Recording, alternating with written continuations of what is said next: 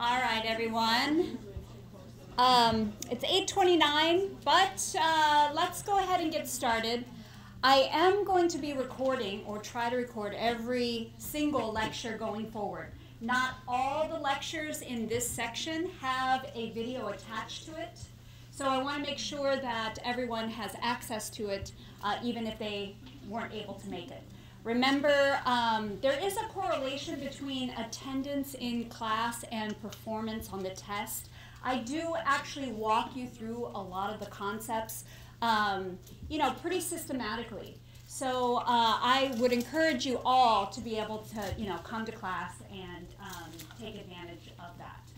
Uh, all right, so with that, I was able to get everyone's score um, except a few students who took it outside of class, um, and I do have a few students that still need to take it due to illness. So I can't give you the answers yet, but by Monday night I should be able to open it up to everybody so that you can see the right answers. All right? Um, I do have some statistics for you though. So um, here is kind of a breakdown of our class. Uh, you can actually see the Gaussian curve. Um, just so you know, as a professor, I actually shoot for 77 as an average, and you hit it right on the mark.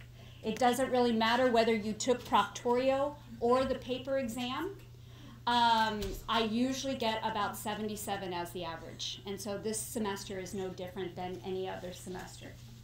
Um, all right, so you can take a look at that. The average time to take the school the test was 52 minutes. So I will allow again. Um, last time I opened it up at 8:20. Uh, everyone had about an hour to finish, um, as, as much as 80 minutes. Okay, I'll do the same thing next time. Uh, the high score was I had two 100s, uh, so perfect scores, and then I had uh, the low score was 40 percent. So, um, so here's what I'll say.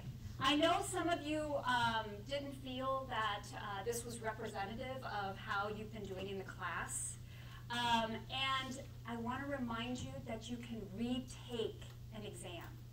Okay, so if you did poorly on this exam, remember at the end of the semester you can retake this exam. It's not going to be the exact one, uh, but it's going to be very similar. So if the question was, you know, on this exam, it asked about conductance. What's the definition of conductance? On the makeup exam, it probably is going to be something like the definition of resistance. So each question is going to be very similar, but just a little bit different. Um, also, Proctorio. I was thrilled with Proctorio. It really helped um, with my grading. Obviously, I was able to grade the rest of the paper exams last night and give you your results right away. Um, I will encourage everyone for the next exam to take it through Proctorio. So please, if you haven't already, uh, I have the pre-exam one open until next week. If you're not familiar with Proctorio, I highly encourage you to try Proctorio and um, make sure that you're familiar with it. Again, I'm going to highly encourage everyone next time to take it through Proctorio. Any questions so far about the exam? Uh, again, going forward, you know the format. It's about 40 questions every single time. Yes? That's what I was wondering. If it's 40 questions, say you get a point off, Mm-hmm. do you, you'd have 39 out of 40. Do you, are you just scaling that up to 100 points or are different questions weighted differently point-wise? Uh, different questions are weighted differently. Okay. So on Proctorio, you could probably see that. It'll say, like, right uh, after the question, it'll say two points or three points. So all the questions, except the matching, were only a half a point each. Um, but usually on Proctorio, you can actually see the point system. Okay. Unfortunately, on the paper copies, you weren't able to see that. But if you have any questions about that, you can always come in and talk to me uh, about that. Okay. Yes, thank you for the question. Uh, yes, question in the very back, yes.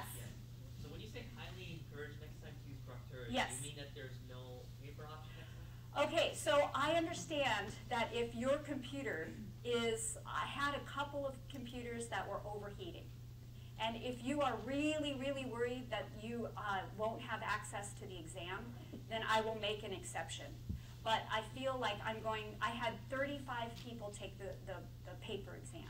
And um, this time I felt like maybe it was because they hadn't really um, done Proctorio before.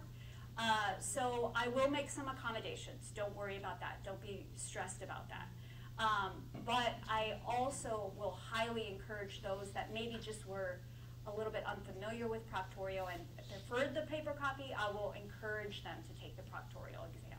Okay? All right. Okay, so that's uh, pretty much it for the first section, everyone. Um,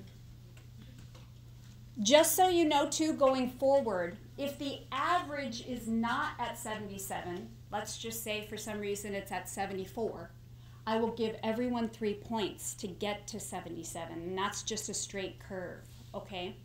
Uh, those that maybe had 100 would get three extra credit points. So I'm always targeting that 77 mark, and just just it just so happened this first exam you hit it right on the mark. Um, all right, so let's get started with today's lecture. We're going to start now with muscle and cardiovascular. Cardiovascular is one of my favorite sections. Love cardiovascular. I think that you'll really like it because it it takes a lot of the concepts that we have already been learning and applies it to the heart.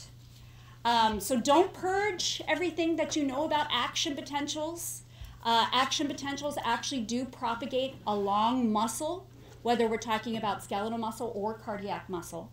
So I want to make sure that that isn't lost as we're going forward. All right, so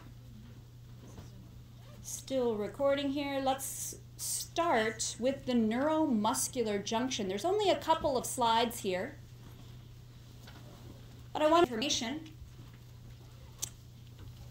Where we left off with the first section with cells and neurons, um, we left off talking about the action potentials propagating down the axons and arriving at the axon terminal end. And you learned that signal uh, transduction was the signals between the neuron and the muscle.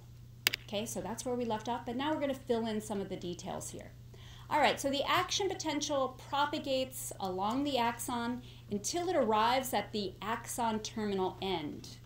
And that depolarization right? That depolarization wave arrives at these voltage gated calcium channels. Very important to realize that this is a calcium channel, a voltage gated calcium channel. Now, which way is the calcium going to be moving? Well, it depends on the concentration gradient and the membrane potential. All right, and due to those two factors, in this case, calcium will be rushing into the cell. Calcium binds to a number of docking proteins. If you were taking cell biology, uh, they would fill all that in synaptotagmin, synaptobrevin, all of those docking proteins. But for our purposes, you can just know that calcium binds to docking proteins and that allows for vesicle fusion, right? Vesicle fusion at the plasma membrane. So calcium is really important in this response. Fact, it initiates this response, the increase in intracellular calcium. All right, so when the vesicle, which has all of this neurotransmitter, this is acetylcholine, when this vesicle fuses with the plasma membrane, acetylcholine is released into the synaptic cleft. You can actually see that's labeled right here, synaptic cleft. And acetylcholine binds to a ionotropic receptor. It's a receptor that is an ion channel called the nicotinic acetylcholine receptor. Nicotinic acetylcholine receptor.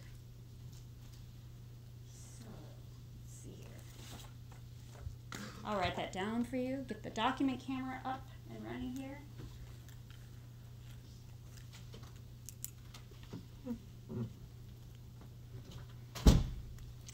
All right, so this is an important concept only because it can be confusing. When we talk about the heart, we're going to talk about muscarinic acetylcholine receptors that are metabotropic. metabotropic. They're G protein coupled. So I don't want you to get confused. I'm going to make this very clear. These ionotropic, oops, me zoom in on this. There we go, so you can see it. Ionotropic, ionotropic receptors. And the actual receptor is called the nicotinic acetylcholine receptors.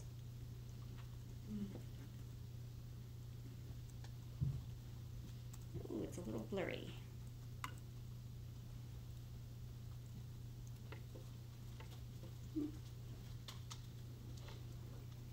There we go. All right, so sometimes it is um, abbreviated the nicotinic acetylcholine receptors. And again, they're ionotropic, meaning they are ion channels. So it's really important to know the name this time associated with these receptors. We're going to go into a lot more detail about that. So going back to our slide here. All right, so uh, neurotransmitter is released. That's acetylcholine. It binds to the nicotinic acetylcholine receptors. And um, you can take a look at this on your own time. It's really not that great. It just kind of shows you that these acetylcholine receptors bind, or these acetylcholine neurotransmitters bind to their receptor. All right, so let's go to, that's kind of end portion. Now what happens at the muscle? Yes, of course. Yeah, so the nicotinic, it's important to know the names because when we get to the heart, we're going to talk about the parasympathetic nervous system input on the heart. Uh, and you need to know the muscarinic acetylcholine receptors. So to be able to uh, distinguish between the two because they have completely different functions, I needed to make sure that you knew exactly what those acetylcholine receptors were on the skeletal muscle. That make sense? Without that detail, it can be way too confusing. Okay? Yeah, if you want to, you're, you're, you still look confused. I'm so sorry. Did you have a question? I just don't, I don't, what do they? Or what do they do? Yeah, like what the, how, how the words that you wrote down, how were they related to like the picture? or what was the Okay, yeah, okay, let me, let, that's, that's what I was missing. Okay, so let's go back to that slide.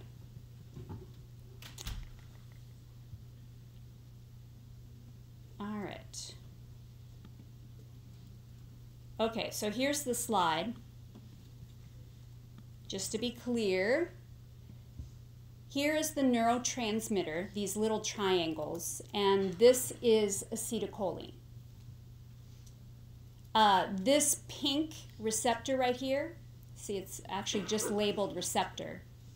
These pink receptors are the nicotinic acetylcholine receptors. And those are ionotropic.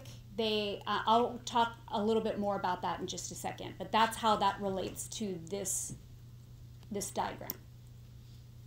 Okay, awesome. Yeah, Thank you for the clarification. I want to make sure that everyone understands that. And then again, there is an animation at the end if you want to take a look at that at home. All right, so now let's keep going with that. Um, all right, so what I'd like to do is give you an overview of the anatomy of the muscle first before we actually zero back in on that end plate, which is where those nicotinic acetylcholine receptors are. Okay, so let me first give you kind of a big picture of the organization of a muscle. Then we'll zero in again on that end plate where those nicotinic acetylcholine receptors are expressed. Okay, so uh, a few, um, you can see here a few learning objectives, right, up front. So you can take a look at that when you get home. That's to help you with your studying. Um, let's start here. With any muscle, what we're going to be talking about is something known as the sliding filament mechanism. And whether we're talking about skeletal muscle, cardiac muscle, or even smooth muscle, this is all about actin and myosin interactions. So, myosin filaments bind to and move actin filaments. And that is the basis for the contraction, for the shortening of these stimulated muscles, whether we're talking about, again, skeletal, smooth, or cardiac. All right, all three types have these myosin actin interactions. And I'm going to tell you right now the key to understanding this is all about calcium. So once calcium floods into the intracellular space, it promotes the binding of actin and myosin, which then stimulates contraction, allows for contraction. So it's all about calcium. So we're going to learn that there are there's an excitation part first. Those action potentials are, are initiated, and then contraction occurs. This is called excitation, contraction, coupling. Excitation, contraction, coupling. So it's all about changes in the membrane potential of muscle. That happens first. Then that stimulates the release of calcium, which then causes contraction. So again, you'll see this over again. Don't worry, this is just an overview, an introduction of muscle. This is all called the sliding filament mechanism. So raise your hand high if you have any questions. All right, so we're going to be talking about the difference between skeletal, cardiac, and smooth muscles throughout. For those that are taking the lab, that's what your lab next week is going to concentrate on. You're actually going to look at cells in the microscope. Uh, you've already done the EMG, the electromyogram, uh, but you'll be concentrating more on uh, the differences between these cell types. Uh, what you'll notice right up front is with skeletal muscle, skeletal muscle is multinucleated. It's because these cells have fused into one large cell. Okay? It's called syncytial cells, right? You don't need to know that, but just know that they're fused together to form one large cell that's multinucleated. You can also see with skeletal muscle, they look like stripes, like zebra, zebra stripes, these small stripes. This is what's known as striations. It's labeled right here, striations. Let me blow this up a little bit so you can actually maybe see it.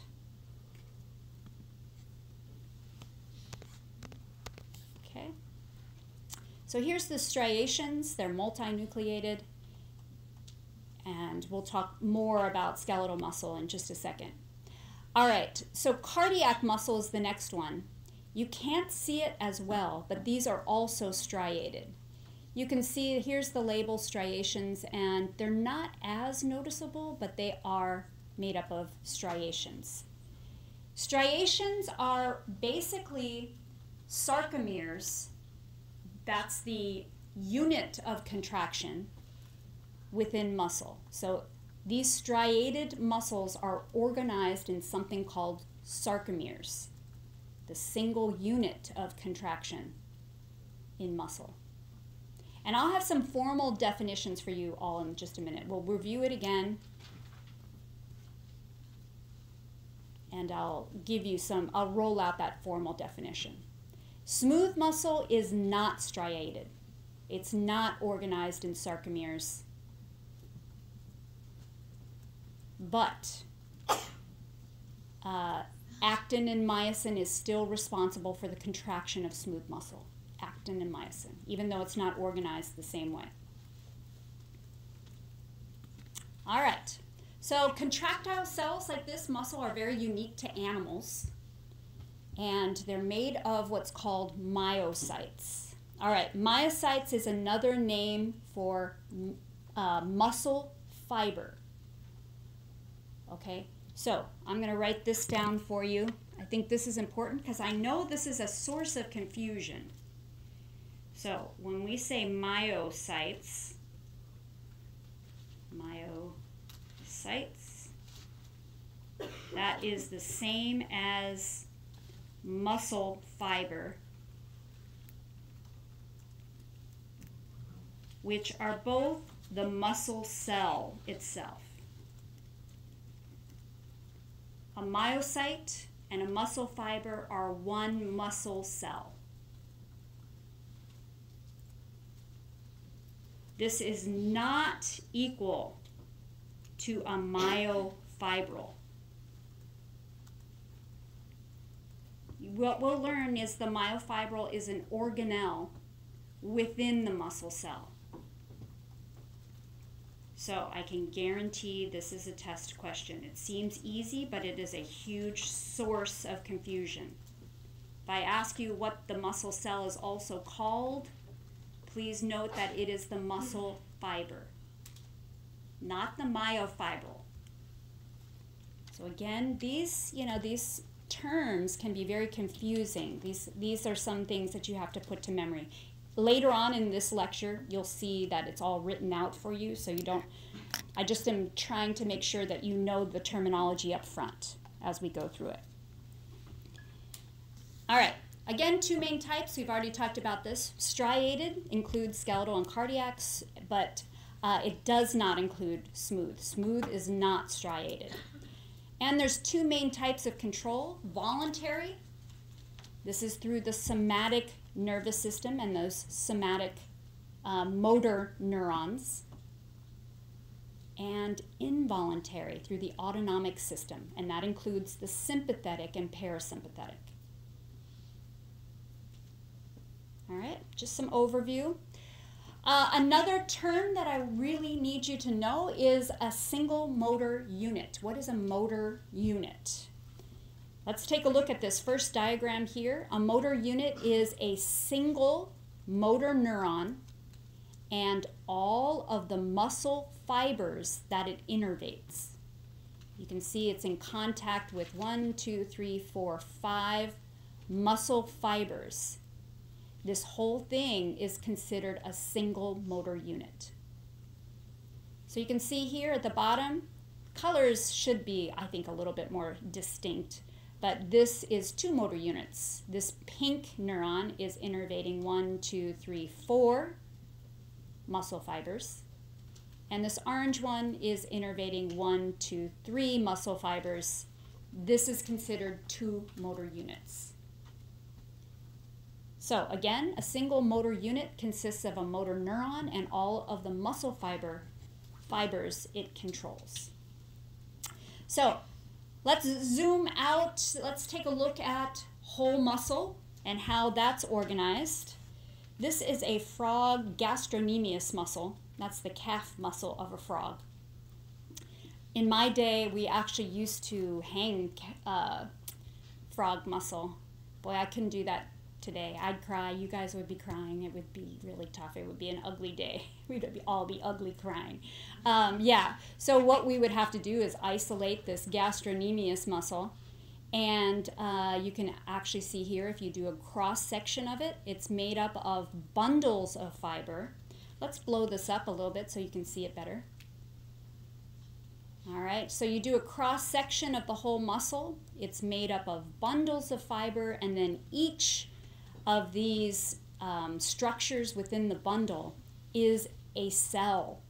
This is the muscle fiber itself. So again, remember muscle fiber is the myocyte or muscle cell. Now, you'll also notice the connective tissue that surrounds each of the bundles. This is called fascia. Anybody heard of like fasciitis? Plantar fasciitis. That's, that's an inflammation. Anytime you have itis at the end, it's an inflammation. So this is inflammation of that connective tissue that causes a lot of pain in people's feet. All right, so now what I'd like to do is blow up this square right here. Let's take a look at the muscle fiber itself. Remember, this is just one cell. So we're going to blow that up. This is what we have. Now, within the cell, this whole thing represents a muscle cell, a muscle fiber. You can see the nucleus. Remember, in skeletal muscle, it's multinucleated. And other organelles like mitochondria. You can see here's another mitochondria down here. And then you'll notice right away these large uh, structures, cylinders. These are the myofibrils. Okay, the myofibrils.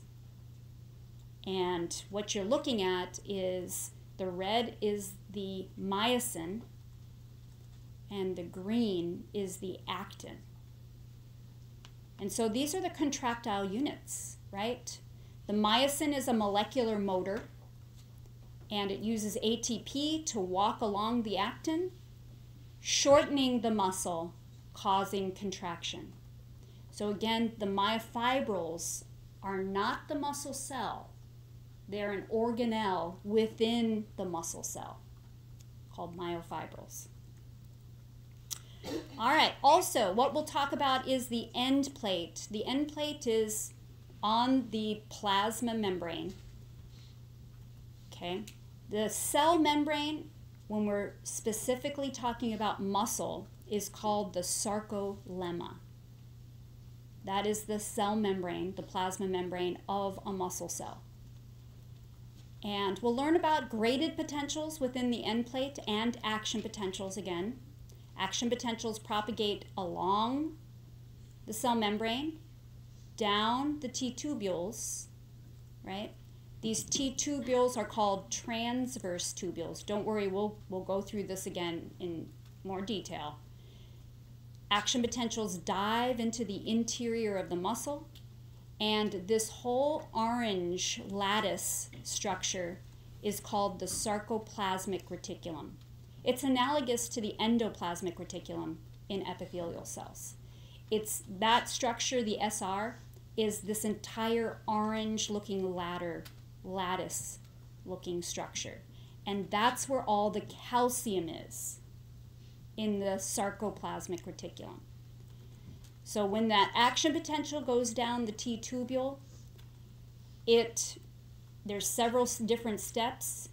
At the end, it releases calcium into the intracellular space, which allows for actin and myosin to interact and cause contraction. Don't feel you have to get all of this down today. I'm just giving you an overview of how muscle works, and we'll dive into the details next week. All right. The terminal cisternae of the SR is just the area of the sarcoplasmic reticulum that is next to the T tubule.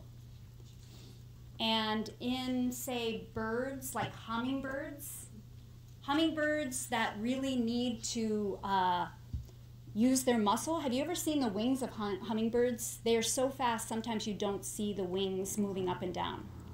Um, and because of the nature of that contraction, their terminal cisternae is very uh, extensive, very well organized to help with that uh, uh, movement, that quick, fast movement.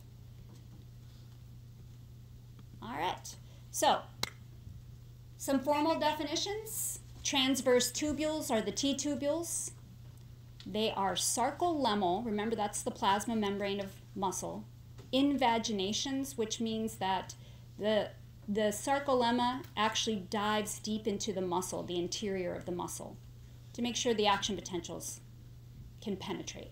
They enhance action potential penetration and are more developed in larger, faster twitching muscle. Sarcoplasmic reticulum has all of the calcium, and the terminal cisternae, when it's well developed, increases that storage. So, summary slide, the defining characteristics, multinucleated. We'll learn a little bit more about fast twitch, slow twitch muscle. Uh, it's actually the slow twitch muscle that have a lot of mitochondria. Fast twitch don't. We'll learn more about that later. Uh, it has T tubules, it has myofibrils, and it's organized in sarcomeres. And some important terms sarcolemma is the plasma membrane of muscle. I didn't mention this yet. Sarcoplasm is the cytoplasm of muscle. And the sarcoplasmic reticulum, again, is analogous to the smooth ER.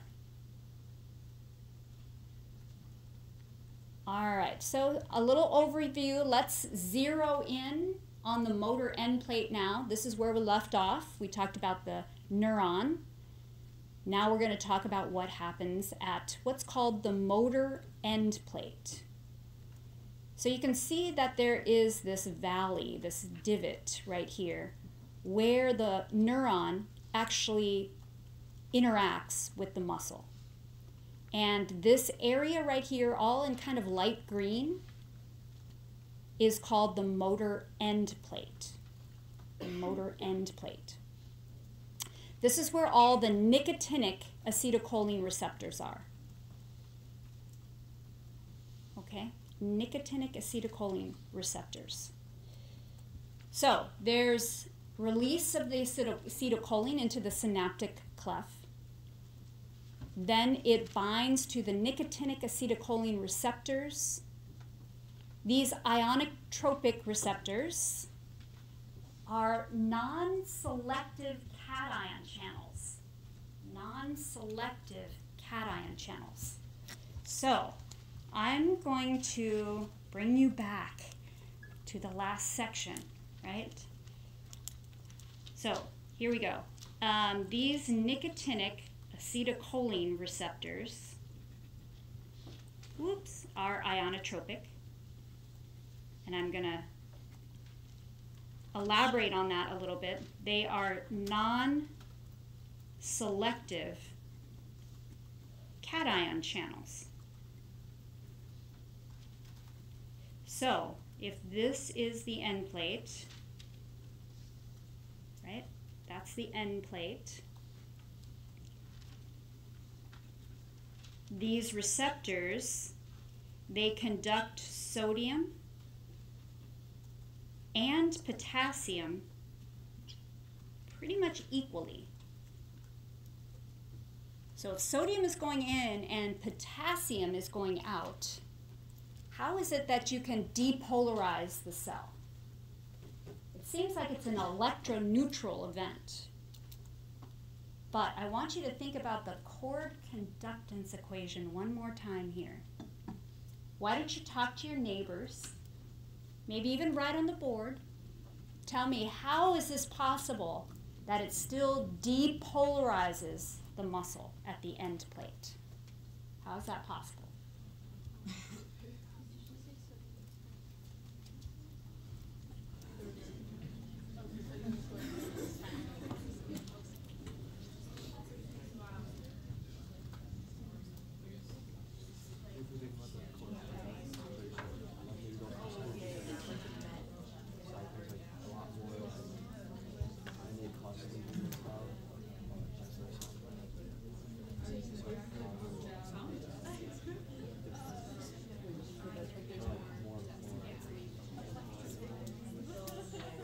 What would the relative conductances have to be?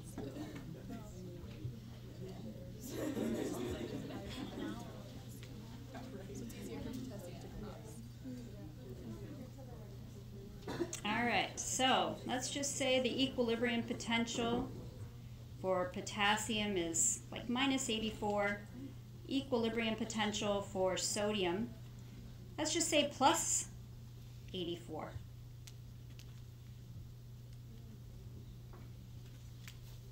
What would you say is happening? Anybody want to take a stab at it? What do you think? How is it still depolarizing the cell?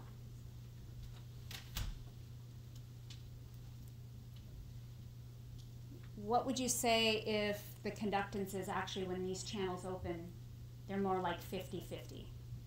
Where's the actual membrane voltage going to go?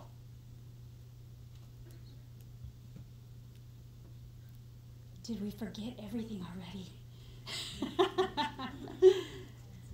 zero, right? It's going to go, it'll still depolarize. It'll just go to zero, right? It'll still depolarize. It'll go to zero, right? Here's the resting membrane. All right? So it is still enough to depolarize the cell. Right? It's more now 50% of the conductance is due to sodium, 50% is due to potassium. So it depolarizes the cell, no doubt about it, at the end plate, and everything you know about graded potentials is happening at the end plate, right? All of these receptors,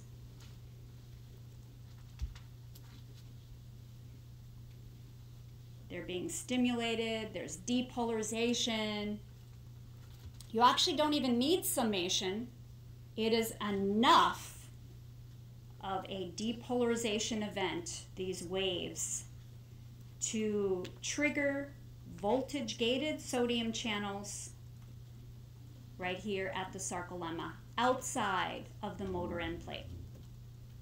So you get action potentials that now propagate along the sarcolemma. I've cut it off and down the T tubules. So at the end plate, remember these are graded potentials. It's enough of a depolarization that it will trigger action potentials outside of the end plate that will propagate along the sarcolemma and down the T tubules. All right, so everything you know about graded potentials and action potentials actually apply to muscle. Very important. All right, nice job so far.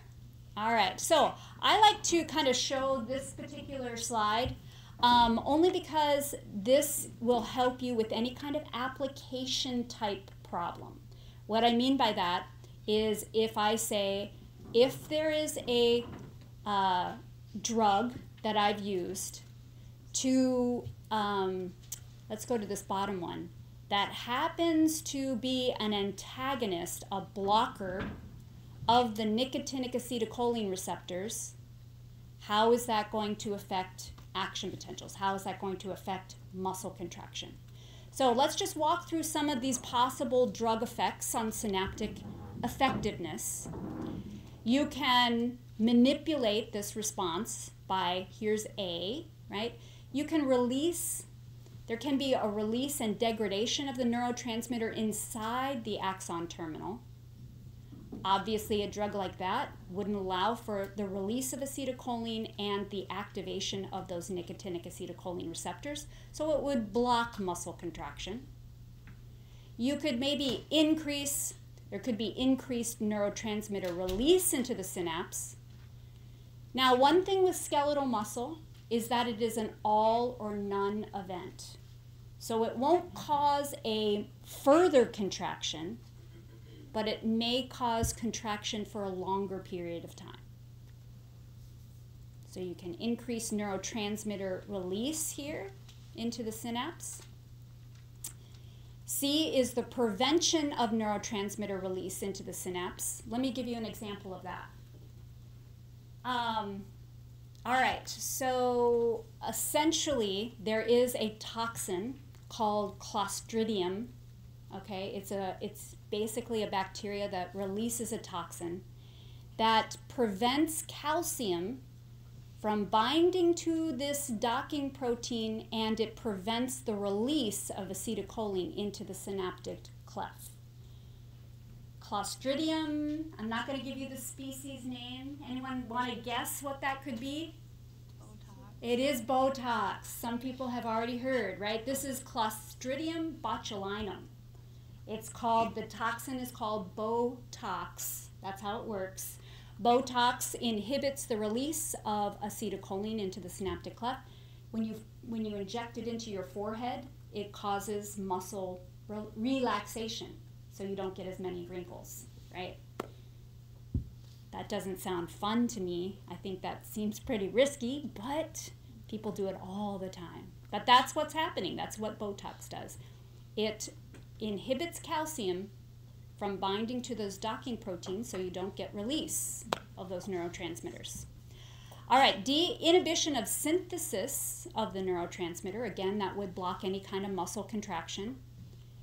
Now, this is interesting. E is a reduced uptake of the neurotransmitter from the synapse.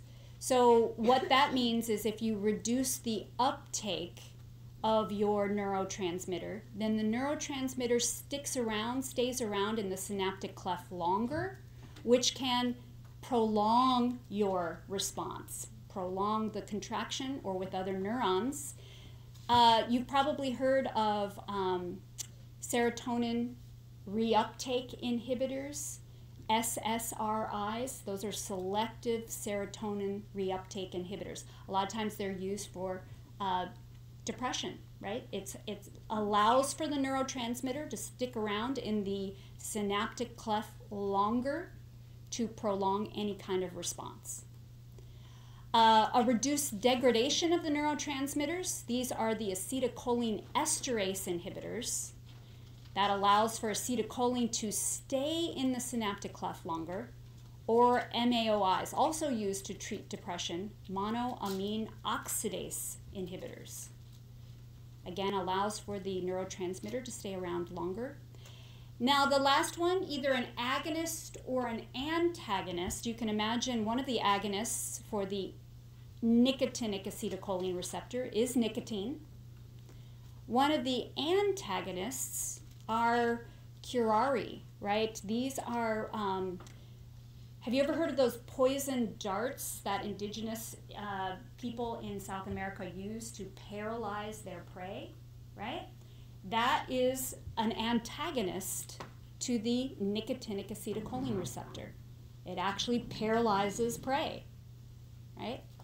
So those are blockers. Now, let me show you something quickly here. Um, here's your homework assignment. It's not due until next Friday. I didn't print it out. I'm trying to save paper this semester. Uh, but it is actually on your website. Let's go to your website here. If you go to the website, and again, you know how to find your assignments, if you go down to the course summary, you can actually find our tired swimmer case. It's case number four. And I will let you read about it. We'll talk more, a little bit more about it on Monday. And here it is right here. Tired Swimmer. When you download it, it's a case of a woman who actually is swimming and becomes uh, very fatigued by her exercise. So I'll let you read about that and what myasthenia gravis is all about. So, do you have a top hat question. Here's well, here's actually some uh, just review. The release of acetylcholine from the motor neuron causes what's known as end plate potentials. EPPs, end plate potentials. These are graded potentials. Remember, those end plate potentials are graded potentials. Acetylcholine esterase is the enzyme that actually is within the synaptic cleft, and that enzyme breaks down acetylcholine. That's what's responsible actually for repolarization. When this enzyme starts to really start to break down acetylcholine, that repolarizes the motor end plate, brings it back down, it hyperpolarizes the, uh, the cell back to its resting value. And it's interesting that summation is not required to trigger an action potential outside the end plate. I mentioned that before. Summation is not required. All right, uh, get out your top hat. I have one top hat question today.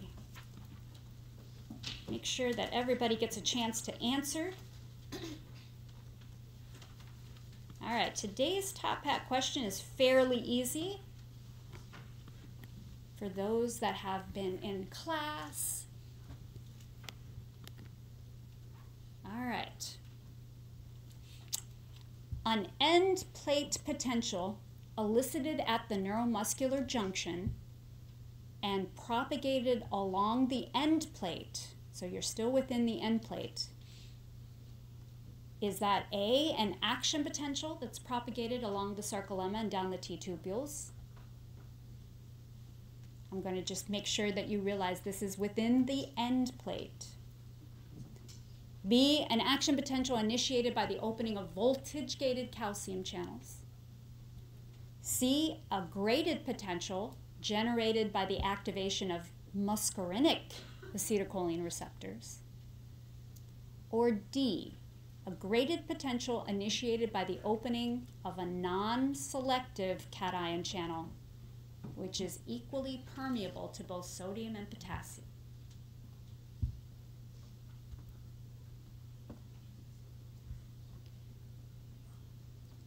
And if you guys want to, you can talk to your neighbors today.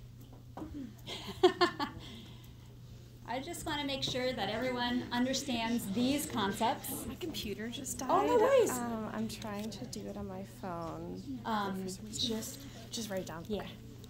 I know you're here.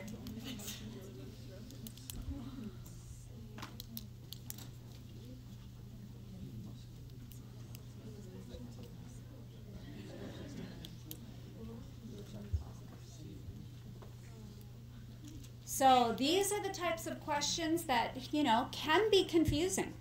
They can be confusing, but if you know the terminology and the concept, then it's pretty straightforward. Does anyone in this room need more time?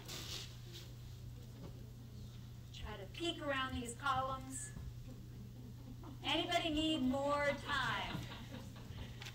All right, thank you. Yes. Yes, yes, yes. All right. So, what do we have here? I'm going to go ahead and close this one. And the correct response is D. Let's see. Yes. Nice job. 89% of you got that right. Sweet. All right. Nice job. All right, so we're not going to do the, the uh, we'll do the next one next time.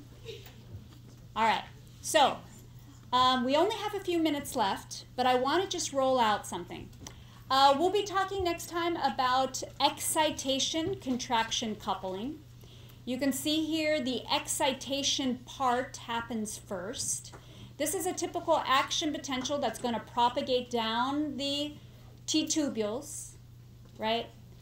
And there's a latent period or a lag time, and then you can start to measure muscle fiber tension, which is force that can be measured by a contraction. All right. Anybody notice something interesting about the action potentials in muscles? What's different about it that you notice that is different than action potentials in neurons? There's no undershoot, right? That's right. There's no undershoot.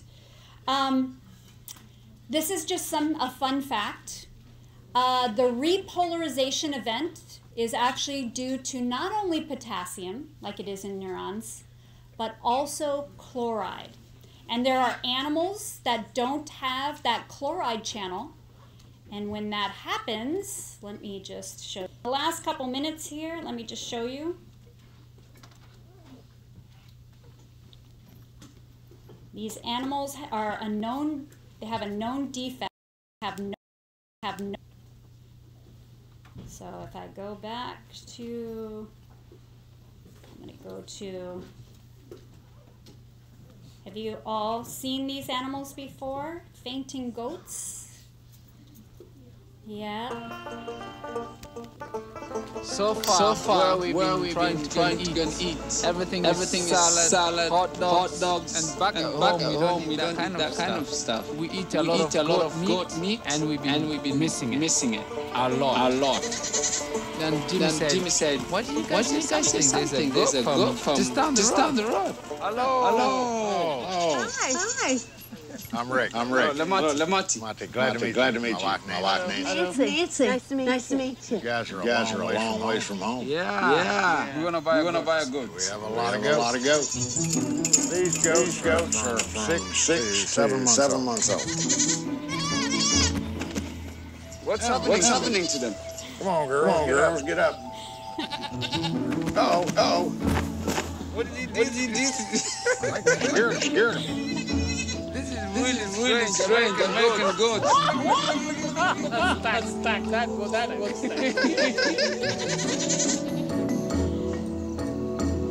All right, a nice visual. Just so you know, the goats can't repolarize, so, so they have this persistent contractile event, this contraction. They're waiting literally for the pump to repolarize the cell, to push potassium back in, to be able to, they just come out of it, out of it after a few minutes, but it's because of that missing chloride channel, yes.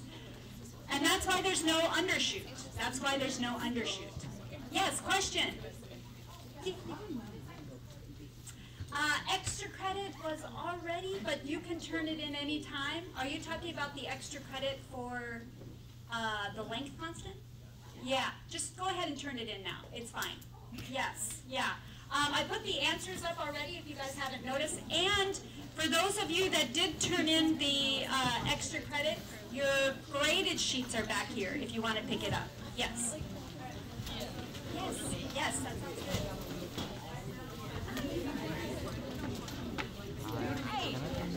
like credit on Monday. Yeah, that's fine.